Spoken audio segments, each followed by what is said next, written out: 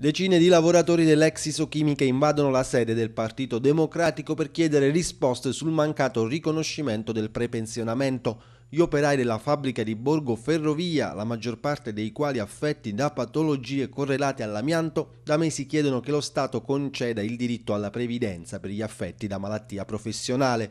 Fino ad ora tutte le proposte di legge arrivate in Parlamento sono state bocciate, ma la lotta degli operai non si ferma. Eh, ci abbiamo chiesto una cosa, praticamente di farsi carico come partito e di arrivare al partito nazionale a Roma, questo l'hanno garantito con una lettera che stesso oggi scriveranno al Presidente del Consiglio Renzi eh, perché vogliamo capire perché è tutto fermo per quanto riguarda il prepensionamento. Voci che ci arrivano, dice che c'è qualche problema proprio nella Commissione Lavoro alla Camera, quindi eh, vogliamo capire se è vero o non è vero ma a nostro avviso sicuramente sarà così perché non è possibile, sono passati altri tre mesi da quando siamo stati alla Commissione, anzi quattro, da quando siamo stati alla Commissione Lavoro alla Camera, ci dicevano che era tutto a posto, avevano preso la, a cuore la situazione nell'emendamento, poi fatto, poi ritirato, eh, ci siamo accorti pure che i parlamentari nostri, l'impossibilità dei parlamentari, non lo so,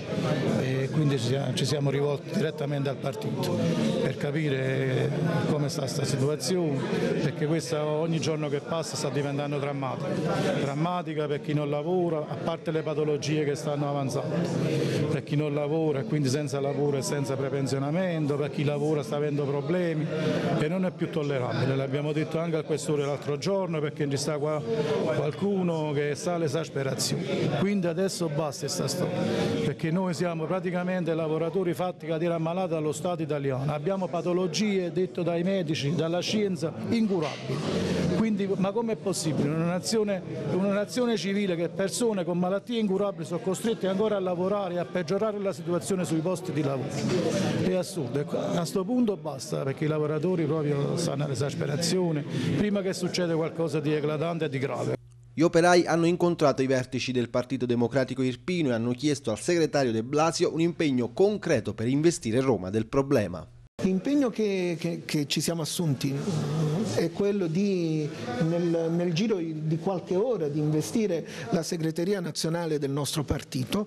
Lo vogliamo fare alla luce del sole, perciò lo stiamo dicendo, eh, per cui eh, anche noi, non più di loro assolutamente, ma sicuramente quanto loro, siamo eh, interessati a capire eh, mh, perché non riusciamo a creare un luogo ehm, nel quale, un luogo politico, istituzionale, nel quale questa vicenda venga rappresentata in maniera appropriata, giusta.